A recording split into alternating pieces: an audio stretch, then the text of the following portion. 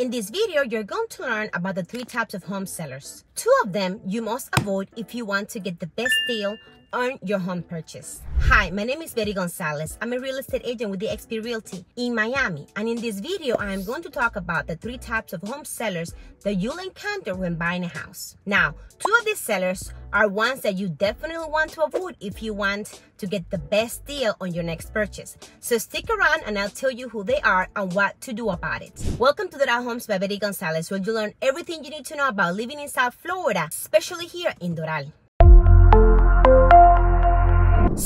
Most buyers do not know is that regardless of the market conditions, there are only three types of home sellers that they may encounter. The first type of seller is the low motivation seller. This seller may have some interest in selling their home, but they are not as eager as motivated sellers and will not typically push aggressively to find a buyer. Instead, they will simply prefer someone wanting to buy their house who happens to come across their property online or through other means. Low motivation sellers usually will not discount the value of their home significantly and will be much less likely to make any repairs unless absolutely necessary for legal reasons. Instead, these type of sellers are looking for buyers who will accept any existing condition on the property, or as you might know it as is condition. The second type of seller is the future seller. This type of seller is mainly testing the market by casually offering the home for sale in order to get an idea of what kind of offers they could receive from potential buyers.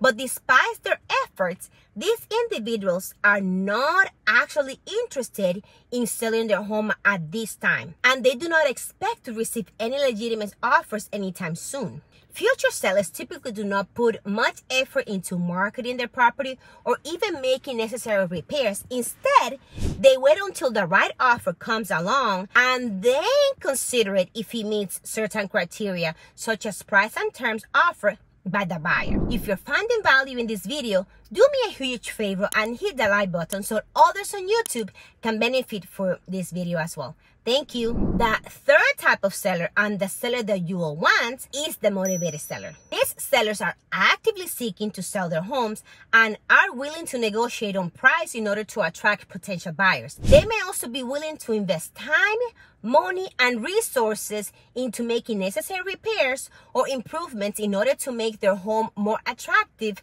or sellable. Overall, understanding which type of seller you're dealing with can help both buyers and sellers alike to get the best overall outcome out of the real estate transactions. Knowing what motivates each party involved can give buyers insight into how flexible a particular seller may be when negotiating a final purchase price, while helping guide future home sellers on how to best market their property when they finally decide it is time to move forward on the sale. Watch this next video next, popping up on the screen See you inside that video.